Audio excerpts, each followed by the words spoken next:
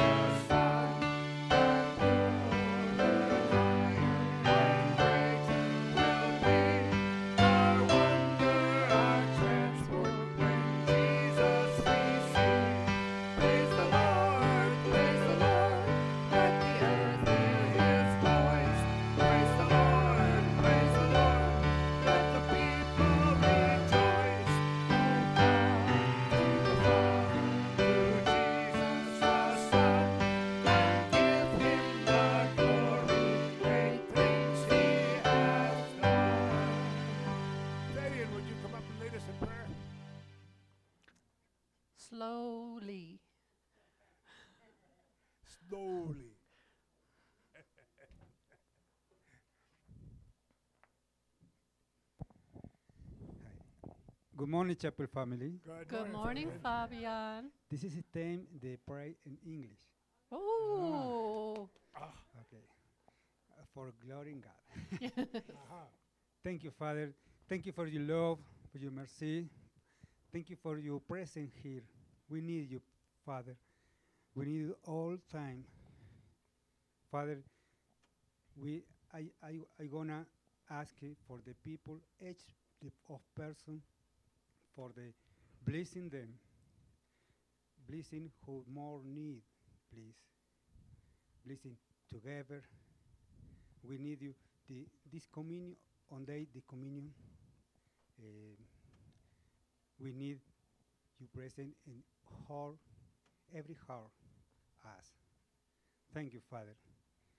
Blessing the service, blessing the, uh, blessing all the people. Thank you, Father. Thank you in the name in the Father, in the Son, in the Holy Spirit. Amen. Amen. Thanks, Fabian. very nice. Very good. You may be seated. Joyful, joyful, we adore thee.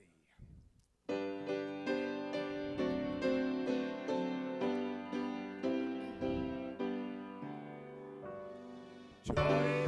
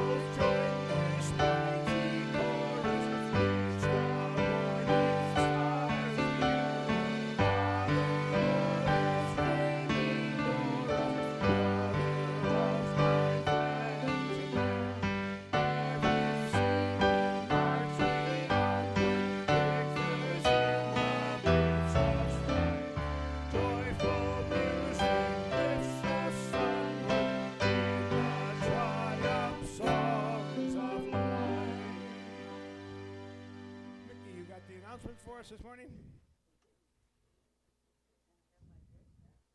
Good. I have my voice back. Whoa, that's loud. that's really loud. Keep talking. Uh, good morning, Chapel family. Good morning, Mickey. It's good to see more of you today.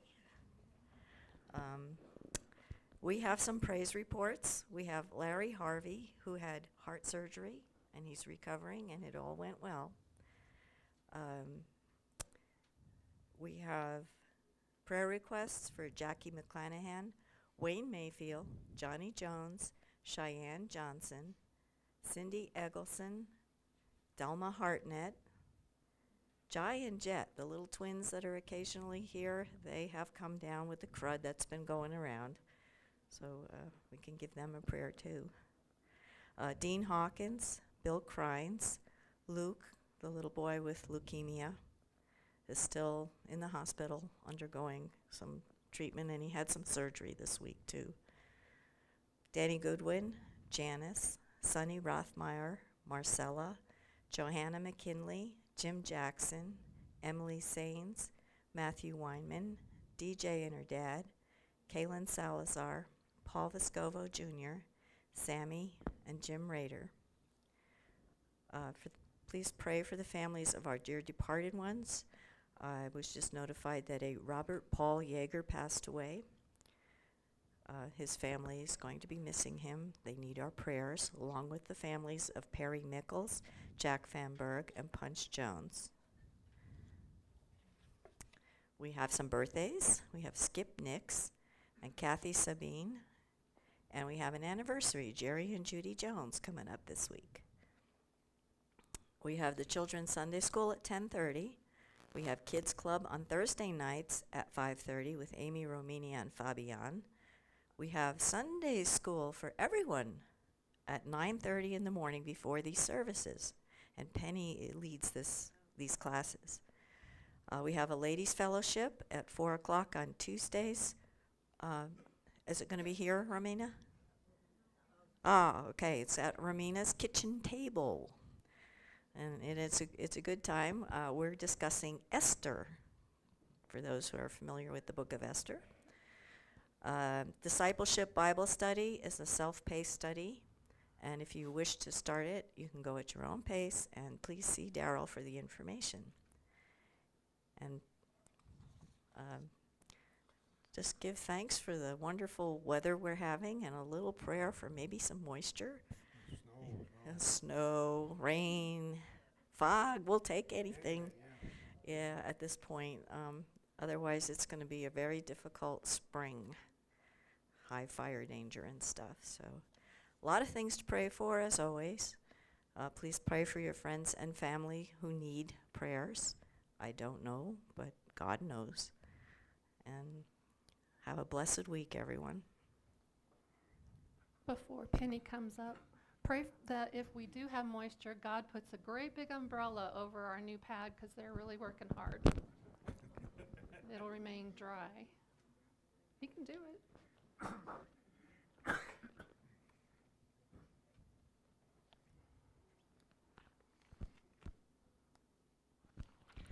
Good morning. Good morning, Penny.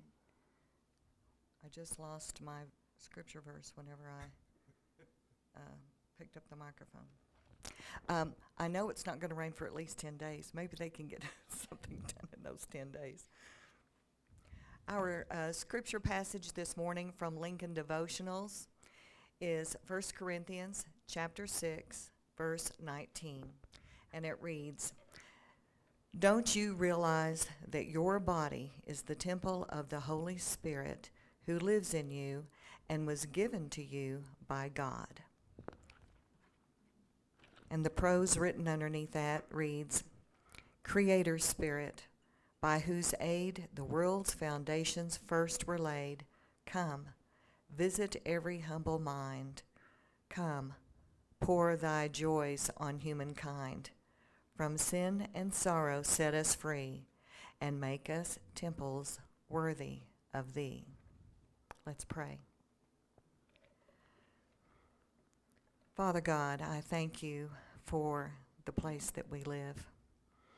I thank you for your creation, for your majesty, for your glory. I thank you that you are a God of details. I thank you for the sunshine and the blue skies, but I do pray for rain. I thank you for this chapel, and I thank you that we're getting a new chapel. I ask your blessings upon the men who have chosen to do this for us, and I pray that this new building will be filled with your spirit, that you will be glorified there in mighty ways, ways that we cannot even comprehend. For all of the people that Mickey listed today, the people that are sick, for our missionaries as they serve you, for our military, for those that we get to celebrate who have birthdays and anniversaries. We thank you for that. I ask that you be with everyone who is uh, uh, coming down or has come down with the flu or the bronchitis, the viruses that are in the air. Father, place your healing hand upon this mountain, upon these your people. I pray this in the name of Jesus. Amen. Amen. I get, Sandy and I will sit in our, out in the great room at night and we look out at the mountain and see the elk coming in out onto the golf course and get up in the morning, sun sets, get up in the morning, look at the mountain again, and I never can get over the fact that how great he is of his creation. Let's sing how great thou art.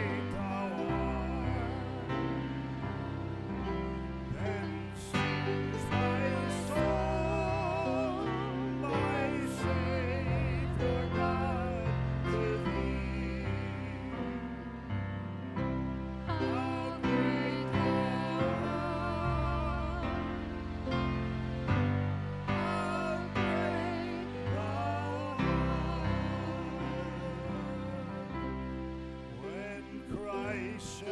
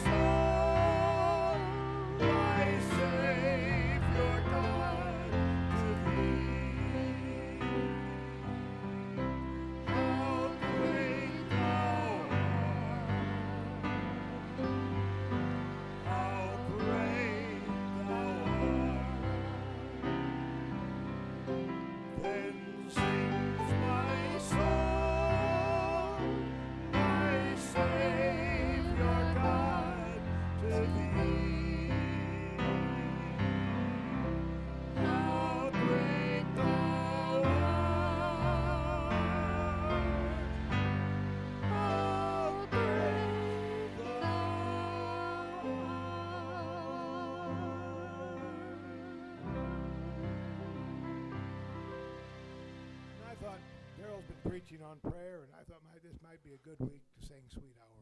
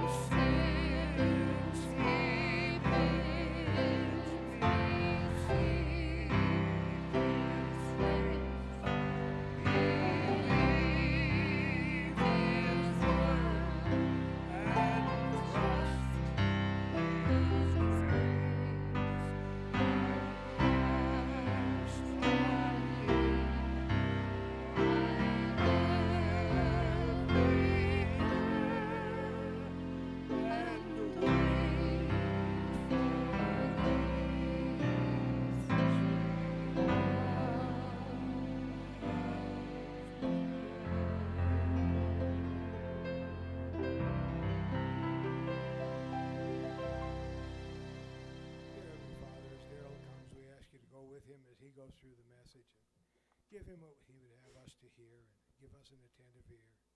Continue to bless the chapel and watch over what's doing here, especially during the week. He's supervising all the construction stuff that's going on. And give him the wisdom and the patience to go through this. And we'll thank you and give you all the praise for it in the end. In Jesus' name we pray. Amen. Did you say wisdom and patience, Dave? I did say patience. Thank you. I'll remember that this week.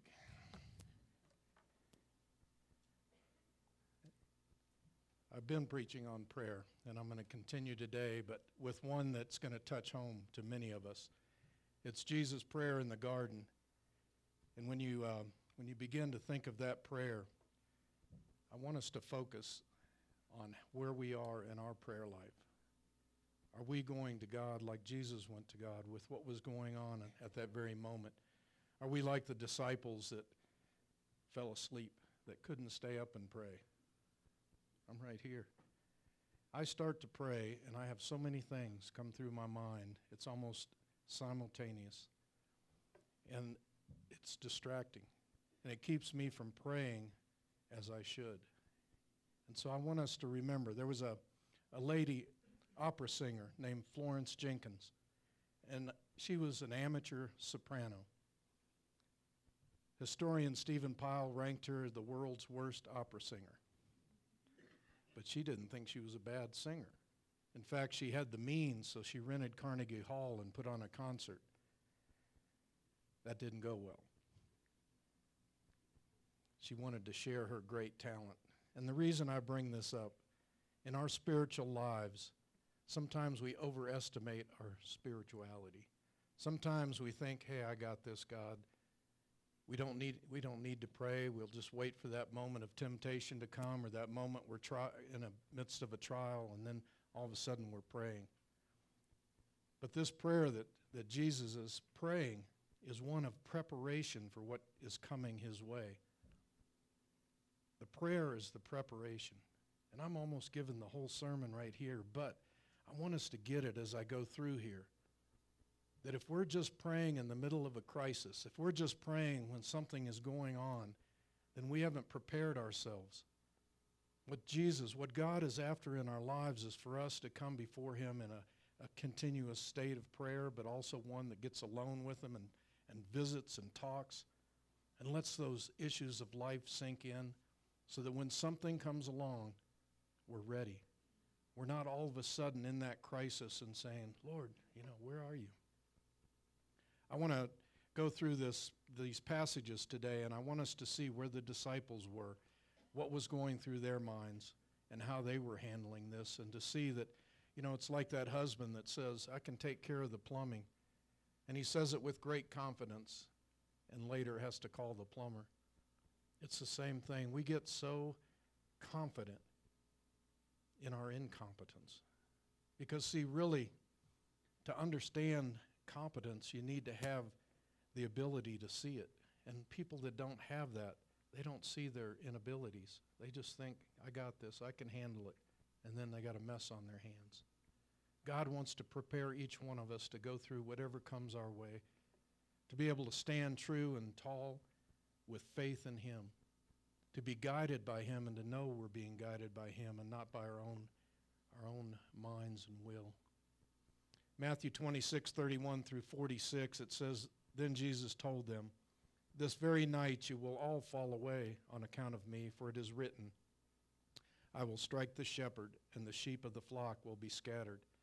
But after I have risen, I will go ahead of you into Galilee. And Peter replied, Even if all fall away on account of you, I never will. I tell you the truth, Jesus answered, This very night, before the rooster crows, you will disown me three times. But Peter declared, Even if I have to die with you, I will never disown you. All of the other disciples said the same thing. We can kind of see how that worked out, right? Passages go on. Then Jesus went with his disciples to a place called Gethsemane. And he said to them, Sit here while I go over there and pray. He took Peter and the two sons of Zebedee along with him. And he began to be sorrowful and troubled. Then he said to them, My soul is overwhelmed with sorrow to the point of death. Stay here and keep watch with me.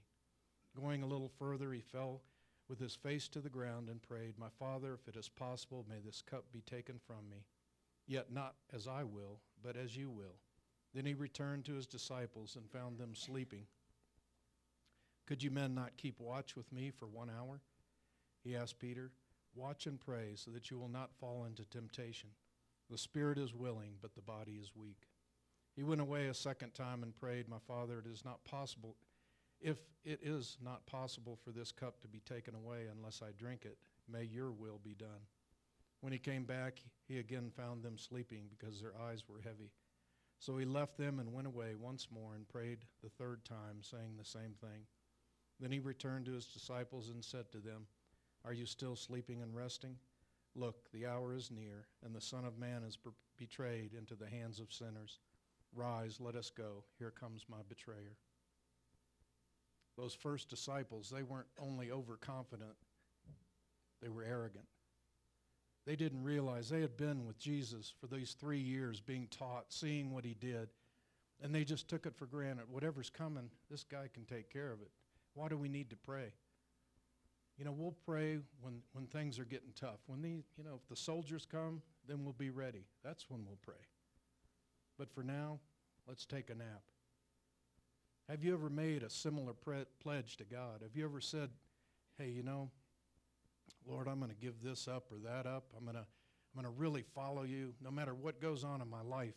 I'm your man. And then 5 minutes later, 10 minutes later or through that day, you find yourself man, where's this spiritual guy that I just promised God that I'd be? What just, what just happened in my life that is so disturbing? And here I made that pledge to God. That's the kind of things that we need to look at. We need to see that those similar pledges are things that God, He doesn't want us to make those pledges. He, want us to, he wants us to be in that relationship with Him that's being prepared, prepared for the trials that are coming. And it's nothing compared to what Jesus faced and was facing then. Matthew 26 says, Then he said to them, My soul is overwhelmed with sorrow to the point of death. Stay here and keep watch with me. That kind of sorrow. A sorrow that is lethal. This sea walking, storm calming, Satan defying, death defeating God, Son of God, was groaning under the weight of what he was going to face. When we are in those same situations, and even not to that degree, we need to be able to pray and to pray consistently. The disciples failed the test, but Jesus still invited them to pray, and he invites us to pray. And there's three principles that I want to go through here. Three principles that are laid out in this prayer of Jesus that he wants us to understand. It's what he did when he was under the pressure of what he was going through. The first thing, he was honest. You would think that he would say, You know, I know what's coming. I knew from the foundations of the world what's coming. Why should I be upset about this? Let me just go get it done. But he was honest. Even as God, he was honest. He didn't want to, he said, Father, if possible, may this cup be taken from me. Agony and distress, we must learn to pray like that. When you think about Isaiah, Isaiah said, I'm a man of unclean lips. He was honest with God. When he stood before the presence of God, he saw himself and how incompetent he was. He didn't take confidence in his flesh. He realized that he needed God. And that's the kind of prayer we should have. We don't go before him and say, Look, God, this is all the stuff I'm doing for you. This is every, you know, aren't I a pretty good guy? No, we should go before him and say, Except for you, Lord, I'm nothing. I need you each and every moment of my life before a trial ever comes my way, before a temptation ever comes my way. I need your strength. I need your presence in my life. I know He promises to be with us always, but until we get that from here to here, we're going to always struggle. We need to have it in our heart, be confident in Him, not in ourselves, and to be honest in that prayer, to have that real relationship through honesty in uh, Dallas about 20 years, maybe 21 years ago, I went to a Promise Keepers rally, and I was part of a security detail, so I spent the night in the old uh, Cowboy Stadium. And the next day, that stadium filled with people, with men. And during the program, I don't know who the speaker was, but he said, Raise your hands if you'll go to Washington, D.C. and be part of this, this big march. My hand went up, and then I thought, Boy, am I going to want to drive all the way to D.C.? but I, I kept that promise, and I went to, to Washington. And I remember uh, I contacted my mom's Lutheran church, and I went with the guys from the Lutheran church, and we got on the subway, went into town. When we got there, they were blowing that shofar. Have you ever heard one of those being blown? I mean, it's powerful. I mean, right then, I, was, I got goosebumps hearing it. And then during the program, we were all out, there was a million people there all these guys, all the way, all the way to the Lincoln Memorial, they were all across the mall in downtown D.C. And all of a sudden, they had a call to prayer, and every man laid flat on his face and began to pray, asking forgiveness. Tell you what, seeing that, being part of that, it, I mean, it, you just can't describe how much that moved me. You know, when we are in that same situation, when we are in those situations of life, we need to bring the light of God into our life. And there's no better way to do that than to prostrate yourself before Him, to just say, Lord, prostrate yourself before Him. To just say, Lord, I need you. I need you so badly, and to confess before Him. When those nightmares come, to be prepared. The second thing is to be submissive. You see, Jesus went on to say, My Father, if it is not possible for this cup to be taken away unless I drink it, may your will be done. What do you think that cup was? Do you think it was just the punishment that was coming? Do you think it was the death that he was facing? No, because he knew he could conquer death. What that cup was, was our sins, the sins of the whole world. The sins, past, present, and future, were in that cup. That's what he was struggling with. Is this sinless Christ, which we know he had never sinned, was taking upon himself the sin of the whole world. And more than that, he was going to be cut off from the Father for that time that he bore that sin upon his body. That's what he was struggling with. It wasn't, we would be looking at it like, oh, I don't want to die, or I don't want to be beaten and, and bruised. We don't see our sin the same way he sees it until we do. We will never look at it and we'll never, we'll never fret over it the same way. We'll never ask God to take it from us until we see what that sin cost him. That's when we begin to make changes in our life. That's when we can begin to see that, Lord, when I see it the way you see it, then I'll fall on my face. And that's what he wants. He wants our heart to understand that the separation from him is far greater than anything we'll face on this earth. He submitted to God. Christ submitted to him and said, God, thy will be done. Those are words of victory. Your will be done, not my will be done. That is submission to God. That's when we've gotten it. That's when we understand, when we're submitting to Him. It's not losing, it's winning, it's victory. When we can come before Him that way and say, Lord, you do it. I want to do it your way. I want to speak. I want to act. I want to serve the way that you want me to by your will, by your power, by your strength. When we submit that way, we'll never lose. God will always be there to bring us and carry us through. Wilbur Chapman, he was vil- visiting Wilbur Booth, and William Booth was a founder of the Sar- Salvation Army. And sp- incredible spiritual life, had power in his life from God. And Chapman said, I want to know the secret to your spiritual life. And Booth hesitated for a second. And he began to speak. He said, I will tell you the secret. God has had all there was of me. There have been men with greater brains. There have been men with greater opportunities. But from the day I got the poor of London on my heart in a vision of what Christ could do with the poor of London, I made up my mind that God could have all of William Booth, all of me. There was.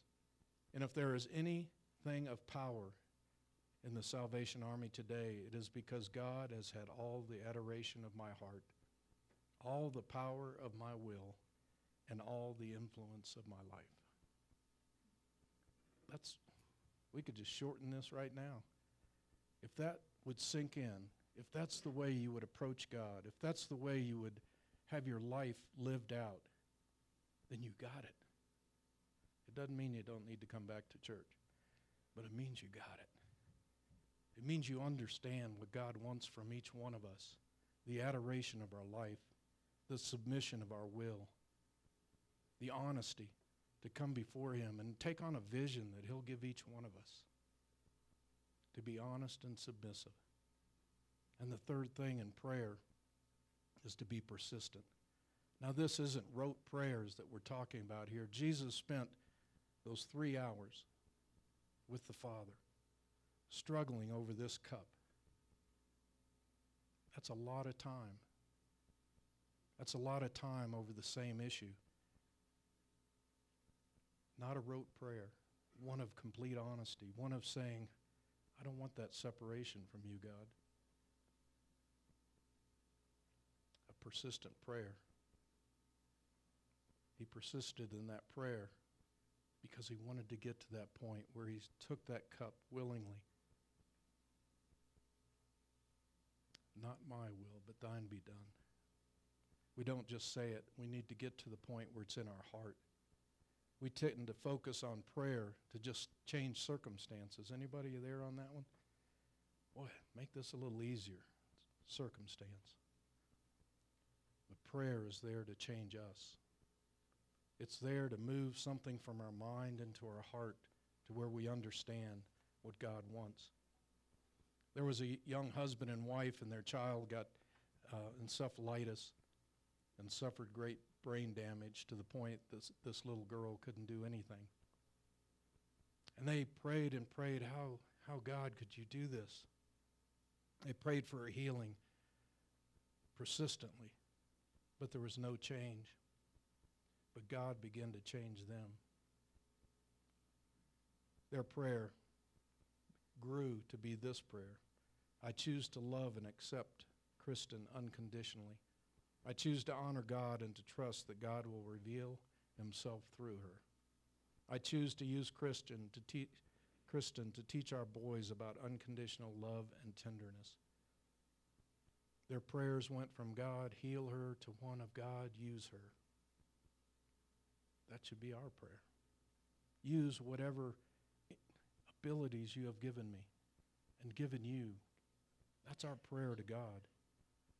Not to change, so to speak, the circumstance, but to change the heart so we're prepared for what He has for us. And you don't get to that quickly.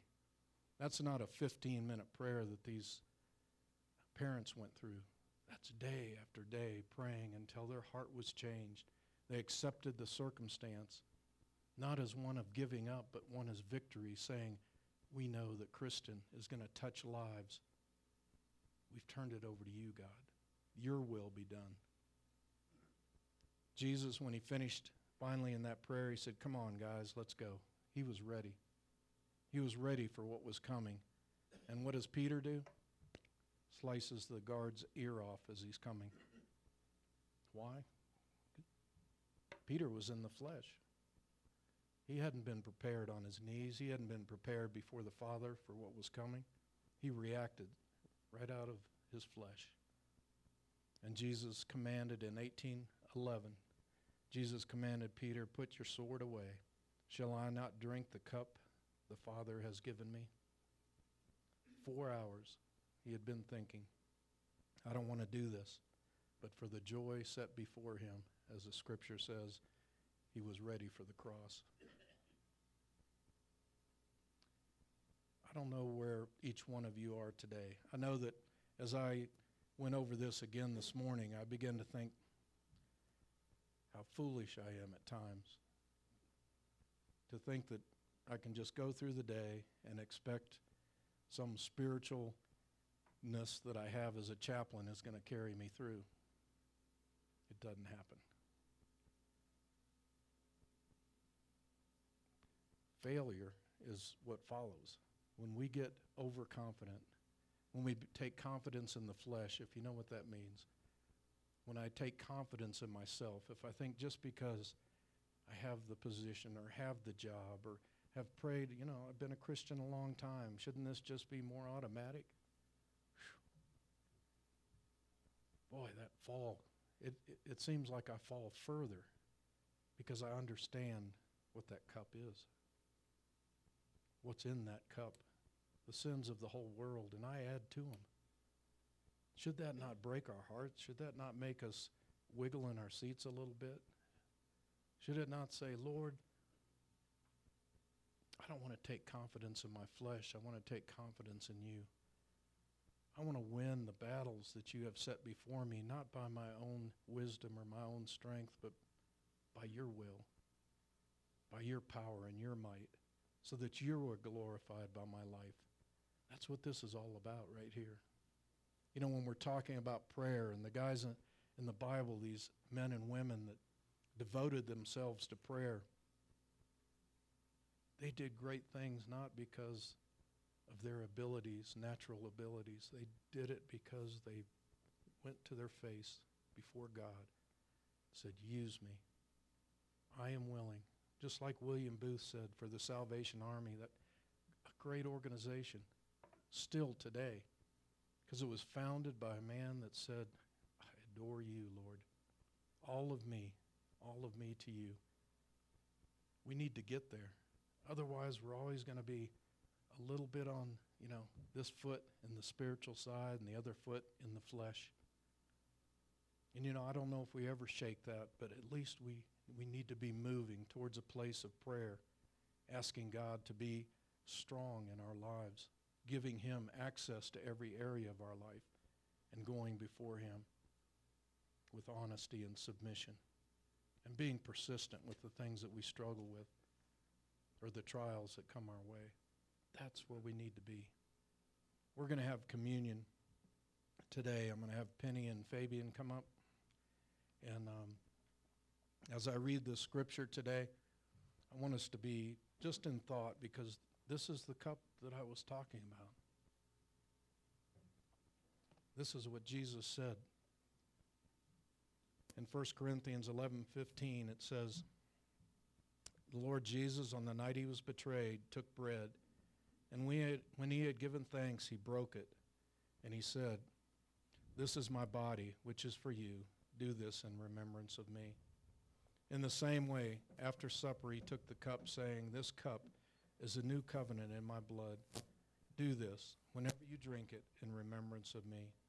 For whenever you eat this bread or drink this cup, you proclaim the Lord's death until he comes.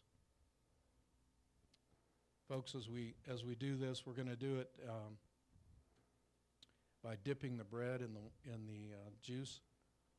And you're going to go ahead and partake as you do that rather than going back to your seat. So I want this time to be a little time of preparation for us. Uh, I'm going to pray, and as you, uh, and then I'll call forward the first group. But let's pray first, and um, let's prepare our hearts for communion. Lord, as we are about to remember you through this, I want us to remember some things out of this sermon, some things in your prayer I want us to remember that we're not much different than those disciples that thought they were so strong spiritually, but were shown to be so weak. Lord, that in our weakness you are, you are shown to be strong when we turn to you. And I pray that in our time of quietness here, that you will move in our hearts, point out those things in our life that are not pleasing to you. And I pray that we will turn to you, that we'll repent of our sins, that we'll show great sorrow for our sins, and we'll move closer to you. Bring that fellowship close together for each one of us. We pray this in Jesus' name. Amen. We're going to start on this side of the room, and as you come forward,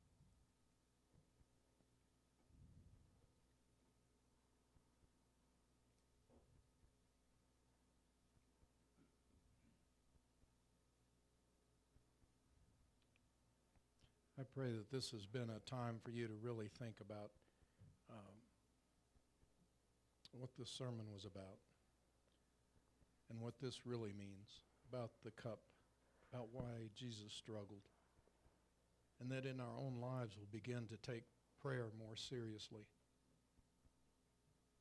to really look to Him.